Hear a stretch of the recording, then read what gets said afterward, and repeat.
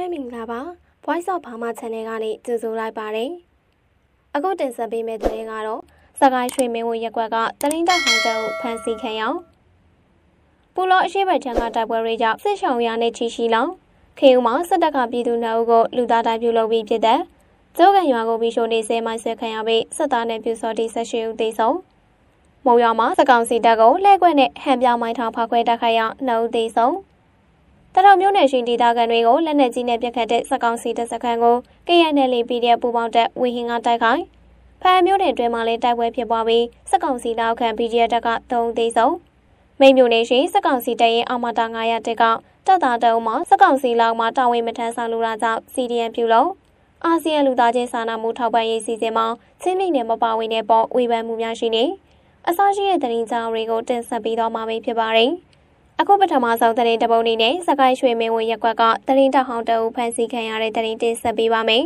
။မနေ့ကဆုံလာ12ရက်ညနေပိုင်းမှာစကိုင်းမြို့ရွှေမင်းဝရက်ကွက်မှာနေထိုင်တဲ့သတင်းတောက်ဟောင်းတအုပ်ဖြစ်တဲ့ဦးရဲနိုင်စေကိုစကောင်စီကဖန်စီခေါ်ဆောင်သွားပြီးအမတ်တရစကတ်မှာထိသိမ်းထားတယ်လို့မိသားစုနဲ့နှိစက်သူတွေကပြောပါတယ်။ဦးရဲနိုင်စေကိုဘာကြောင့်ဖန်စီခေါ်ဆောင်နေဆိုတာကိုတော့မသိရသေးဘူးလို့ပြောပါတယ်။စကိုင်းတိုင်းကသူတို့စန့်ကျင်တဲ့တရင်သမားမှန်သမျှတရင်လုပ်ငန်းလုံးလုံးမလုံးလုံးအကုန်ဖမ်းမဲ့သဘောပဲ တမင်သက်သက်နှိတ်ကိုနေတာအသက်80ဝန်းကျင်ရှိတဲ့ဦးတီအောင်တို့ကလည်းဒီလိုပဲလုံးဝမဖြစ်တဲ့ကိစ္စစကိုင်းမှာအရင်ကတရင်လုံငယ်လုပ်သူမှန်သမျှကိုမထင်ရင်မထင်တယ်လို့လုံနေတာလို့ကိုရဲနိုင်ဆိုရဲ့မိသားစုနဲ့နှီးဆက်သူကပြောပါတယ်အခုဆက်လက်ပြီးနောက်ထပ်သတင်းတပုံနေနဲ့ပူလောအရှိရန်ကတိုက်ပွဲတွေကြောင့်စစ်ဆောင်ရနဲ့ကြီးရှိလာတဲ့သတင်းတင်ဆက်ပေးပါမယ်။ တနင်္လာရီတိုင်းပူလောမြို့နယ်အရှိဘက်ထဲမှာစကောင်စီတပ်နဲ့ဒေသကာကွယ်အင်အားစုတွေကြားကတိုက်ပွဲတွေနဲ့စကောင်စီရဲ့လက်နက်ကြီးပစ်ခတ်မှုတွေကြောင့်ပြီးခဲ့တဲ့ရက်ပိုင်းတွင်ဆက်ဆောင်ဖြစ်လာတဲ့ဒေသခံရာနဲ့ချီရှိလာတယ်လို့သိရပါတယ်။ရှမ်းတော့ကြောက်လိန်အမဝကျေးရွာတွေကိုဆက်ကြောင်းထုတ်လာတဲ့စကောင်စီတပ်တွေနဲ့ဒေသကာကွယ်ပူပေါင်းတပ်ဖွဲ့တွေကြောင့်စုံလ10ရက်နေ့မှာဖြစ်ခဲ့တဲ့တိုက်ပွဲနဲ့မင်းဝင်ကျေးရွာနီမှာစုံလ17ရက်နေ့တုန်းကဖြစ်ခဲ့တဲ့တိုက်ပွဲတွေကြောင့်ဒေသခံ200နီးပါးဘေးလွရာကိုတိမ်းရှောင်ခဲ့ရတာပါ။ ဒါအပြင်ဒီကနေ့ဇွန်လ23ရက်နေ့မှာလည်းလက်နက်ကြီးတွေနဲ့ပစ်ခတ်မှုတွေကြောင့်ဇက်ကမှော်မိကျောင်းတဲ့ရွာတွေကဒေသခံရတီဟာဘေးလွရာထပ်မံပြောင်းရွှေ့ခဲ့ရပြန်တယ်လို့ဆက်ဆောင်တွေအရေးကူညီပေးနေသူကပြောပါရယ်အခုဆက်လက်ပြီးနောက်တဲ့သတင်းတပုတ်နေနဲ့ခေဦးမှာစစ်တပ်ကပြည်သူ့နောက်ကိုလူသားတိုင်းပြုလုပ်ပြီးဖြစ်တဲ့ကျုပ်ကရွာကိုမိရှိုးနေစဲမိုင်းဆွဲခံရပြီးစစ်သားနဲ့ပြူစော်တီဆက်ရှိဦးတည်ဆုံတဲ့သတင်းတင်ဆက်ပေးပါမယ်။ စကိုင်းတိုင်းခေဦးမြို့နယ်မြေနီရှိုလန်းစုံဒီမှာအကြမ်းမဆက်တပ်ကဆုံလာ17ရက်နေ့မှာပြည်သူနှုတ်ကိုလူသားတိုင်းဖြစ်အုံမျိုးကဖမ်းဆီးပြစ်တက်ခဲ့ကြောင်းဒေသခံပြည်သူတွေကပြောပါရယ်အကြမ်းမဆက်တပ်ဟာခေဦးမြို့နယ်မြေနီရှိုလန်းစုံဒီမှာဒေသခံပြည်သူနှုတ်ကိုလူသားတိုင်းဖြစ်ဖမ်းဆီးခဲ့ပြီးနောက်ကျိုးကန်ရွာအနောက်ဘက်မှာပြစ်တက်ထားခဲ့ခြင်းဖြစ်ကြောင်းသိရပါရယ်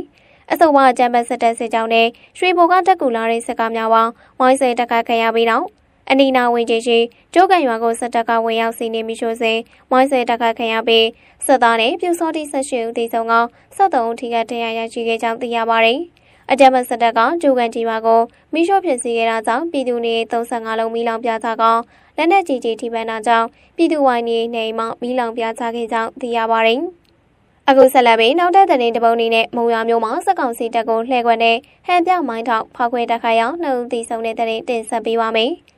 စကိုင်းတိုင်းမုံရွာမြို့မှာအကြမ်းဖက်စကောင်စီတပ်ကိုလှည့်ကွက်နဲ့ဟန်ပြောက်မိုင်းထောင်၍ဖောက်ခွဲတက်ခတ်ခဲ့အောင်အကြမ်းဖက်စစ်သားတို့တည်ဆုံနိုင်ကြောင်းအာဏာရှင်တော်လှန်ရေးပြည်သူ့တပ်မတော် DRPA ကသတင်းထုတ်ပြန်ပါတယ်။ဇီကွက်စစ်စင်ရေးလို့အမည်ပေးထားတဲ့၎င်းစစ်စင်ရေးကိုဒီကနေ့ဇွန်လ23ရက်နေ့နဲ့၄နာရီမိနစ်40ခန့်မှာမုံရွာမြို့ထတော်ရဲရှိစကောင်စီတပ်ဖွဲ့ဝင်များဖြတ်တန်းသွားလာရရှိတဲ့ရွှေဝါရောက်လမ်းမှာပြုလုပ်ခဲ့တာဖြစ်ပါတယ်။ အစောဝါလမ်းမှာထိန်းသာမြင်သာရှိစေရန်မိုင်းထောင်ထားပြီးစကောင်စီဖွဲ့ဝင်တွေကမိုင်းကိုတွေ့ရလာရောက်ရှင်းလင်းစဉ်မိုင်းရောက်ဖောက်ခွဲခဲ့ခြင်းဖြစ်ကြောင်းမိုင်းလာရောက်ရှင်းလင်းတဲ့စကောင်စီတပ်ဖွဲ့ဝင်တို့ဦးမိုင်းထိမဲ့တီဆုံးကကြံဖွဲ့ဝင်တချို့ထိခိုက်ဒဏ်ရာရရှိခဲ့ကြောင်း DRPA ကထုတ်ပြန်ပါတယ်။အဲ့ဒီလမ်းထဲမှာအရက်ဝတ်တွေနဲ့လှုပ်ရှားနေတဲ့သူတွေရဲ့နေအိမ်တွေရှိတယ်။အမြဲတမ်းလိုလိုသူတို့ရက်ွက်လို့ဖြစ်နေတော့ကျွန်တော်တို့ကခါတိုင်းလိုတမယူကြထောင်နာခဲ့တာမဟုတ်ဘူး။တမယူကြထောင်ခဲ့ရင်ပြည်သူတွေဒီမှာဆိုလို့ သူတို့တမင်မြေအောင်ကိုထောင်ခဲ့တော့မြင်သွားတော့လာရှင်းတော့လာရှင်းတဲ့ချိန်ကျွန်တော်တို့ကငကိုရဲကစီစဉ်ထားတဲ့အတွက်နည်းနည်းလေးကြွားလိုက်တာနဲ့နေကွဲတော့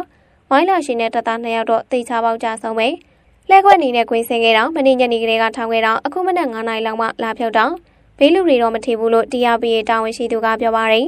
အဆိုအစစ်စင်ရေးကို TRPA ကမုံရွာမျိုးပြပြောက်ကြရဲပေါ်များ MACD ထောက်ပို့တဲ့မုံရွာနိုင်ကမဟာမိတ်တပ်ပေါင်းစုတို့ကပူးပေါင်းပြီး တိုက်ခတ်ခဲ့ကြခြင်းဖြစ်ကြောင်းအသိပေးထားပါတယ်။မုံရွာမြို့မှာအတဲမစကောင်စီတပ်ကိုဒေတာရင်းမြို့ပြပြကြဖွဲ့တွေကမကြာခဏပျောက်ကြားတိုက်ခိုက်လျက်ရှိပါတယ်။အခုဆက်လက်ပြီးနောက်ထပ်သတင်းတပုတ်နေနဲ့တပ်ထုံနယ်ရှိဒေသခံတွေကိုလက်နက်ကြီးနဲ့ပစ်ခတ်တဲ့စကောင်စီတပ်စခန်းကို KNL PDF ပူပေါင်းတပ်ဝေဟင်ကတိုက်ခိုင်းဖမ်းမြို့နယ်တွေမှာလည်းတိုက်ပွဲဖြစ်ပွားပြီးစကောင်စီလောက်ခံ PDF တပ်ကောင်သုံးသိဆုံးတဲ့သတင်းတင်ဆက်ပေးပါမယ်။ ကရင်မျိုးသားစီယုံကရင်မျိုးသားလူမျိုးဤတမတော် KNU KNL တပ်မဟာတင်နယ်မြေရှိစကောင်စီရဲ့ပိန်းတော်တပ်စခန်းကိုဒီကနေ့မနက်မှာဝေဟင်ကတိုက်ခတ်ခဲ့ကြောင်း KNU တပ်မဟာတင်မိဖက်ရေးရကြီးကြပ်ကိုကရေးကော်မတီကထုတ်ပြန်ပါတယ်။တထုံမျိုးနဲ့ပိန်းနေတော်စကောင်စီတပ်စခန်းဟာဒေသခံတိုင်းသားကြီးပါတွေကိုလက်နက်ကြီးနဲ့ရန်တမ်းပစ်ခတ်နေတာကြောင့်၎င်းတပ်စခန်းကိုဒီကနေ့ဇွန်လ23ရက်နေ့6နိုင်ခန့်မှာ KNL တပ်ရင်းနဲ့ PDF အမှတ်နဲ့တပ်ရင်းနဲ့ People Force ပြည်သူအင်အားစုပူးပေါင်းဖွဲ့တို့က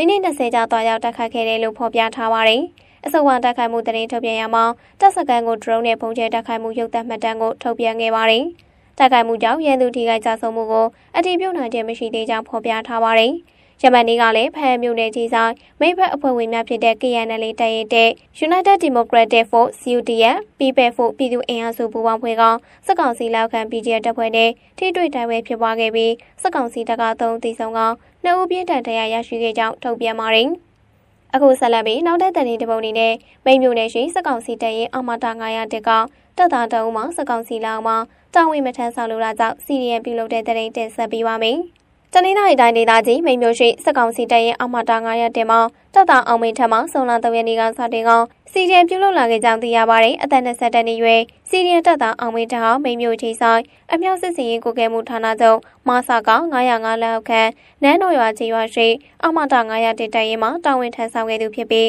စက်ကောင်စီလောက်မှာတာဝန်မထမ်းဆောင်လိုတော့တာကြောင့်စက်ကန်းကထွက်ခွာကစီဒီအန်ပြုလုပ်လာခြင်းဖြစ်ကြောင်း၎င်းကပြောပါတယ်။၎င်းဟာမိမျိုးမှာ ဆန္ဒပြတပိတ်တွေကိုတနက်ပြဖောက်လူစုခွဲရမှာကိုရိုင်းကိုကြပါဝင်လှုပ်ဆောင်ခဲ့ရသူဖြစ်ပြီးလူစုမခွဲသေးတဲ့ပြည်သူလူထုကိုရိုင်းနယ်လူစုခွဲရန်အမိတ်ပိတ်စေခိုင်းမှုပေါ်တာဝန်မကျေပြမှုအတွက်ထိုးချိတ်ဖြစ်တံပေးခြင်းကိုခံခဲ့ရကြောင်းသိရပါတယ်။၎င်းမှာ AR တိုင်းပသိမ်မျိုးစာတိဖြစ်ပြီးလက်ရှိမှာလူမျိုးတင်မြေတစ်ခုမှလုံခြုံစွာခိုးလုံလျက်ရှိကြောင်းသိရပါတယ်။အခုဆက်လက်ပြီးနောက်တဲ့တဲ့တပုံအနေနဲ့အာဆီယံလူသားချင်းစာနာမှုထောက်ပံ့ရေးစီစဉ်မှာချင်းပြည်နယ်မပါဝင်တဲ့ပေါ်ဝေဖန်မှုများရှိနေတဲ့တဲ့တင်ဆက်ပေးပါမယ်။ အာဆီယံကလူသားချင်းစာနာထောက်ပံ့မှုပေးရန်သတ်မှတ်ထားတဲ့ပြည်နယ်နဲ့တိုင်းဒေသကြီးမှာချင်းပြည်နယ်မပါဝင်ခြင်းဟာချင်းစစ်ပေးဒုက္ခသည်တွေရဲ့အခွင့်အရေးကိုလှည့်လည်ရှုခြင်းဖြစ်ကြောင်းချင်းလူခွင့်ရေးလှုပ်ရှားသူတွေကြောင့်ဝေဖန်မှုတွေရှိနေပါတယ်။ပြီးခဲ့တဲ့မေလ6ရက်နေ့ကအာဆီယံလူသားချင်းစာနာမှုထောက်ပံ့ရေးစီစဉ်မှာကရင်ပြည်နယ်၊ကယားပြည်နယ်၊မကွေးတိုင်းဒေသကြီးနဲ့စကိုင်းတိုင်းဒေသကြီးတို့ပါဝင်ကြောင်းထုတ်ပြန်ထားပါတယ်။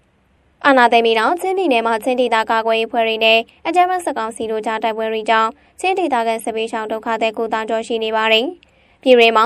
ချင်းဒေသကစပေးဆောင်ဒုက္ခသည်ကိုတောင်ကျော်ရှိနေပါတယ်။ပြည်ရင်းမှာနေရဆောင်ခွာထွက်ပြေးနေရသူတသန်းကျော်ရှိနေတယ်လို့ကုလသမဂ္ဂလူသားချင်းစာနာမှုဆိုင်ရာညီလာရေးယုံ UNOCHA ကထုတ်ပြန်ထားပါတယ်။အဆိုပါရည်တွက်ထဲမှာအိန္ဒိယနိုင်ငံမီဇိုရမ်ပြည်နယ်ကိုထွက်ပြေးတိမ်းရှောင်နေရသူ၄000နီးပါးလည်းပါဝင်ပါတယ်။ လက်တလုံးမှာတောတောင်တွေထဲမှာတိမ်ရှောင်နေရတဲ့စစ်ပေးရှောင်တွေအတွက်အမိုးဝက်ကအစားအသောက်နဲ့စိတ်ဝါကူညီများလိုအပ်နေတယ်လို့စစ်ပေးရှောင်ကူညီပေးနေသူတွေကပြောပါတယ်။အာဆီယံနဲ့ကုလသမဂ္ဂဖွဲ့စည်းတွေကလူသားချင်းစာနာမှုဆိုင်ရာအကူအညီတွေကိုစက်ကောင်စီကတဆင်ပေးရရန်စီစဉ်ခြင်းကိုလက်မခံနိုင်ကြောင်းအမျိုးသားညီညွတ်ရေးအစိုးရ NUG ပါဝင်ကရင်မျိုးသားစီယုံ KNU ကရင်နီအမျိုးသားဒုတက်ရေးပါတီ KNPP နဲ့ချင်းမျိုးသားတပ်ဦး CNF တို့က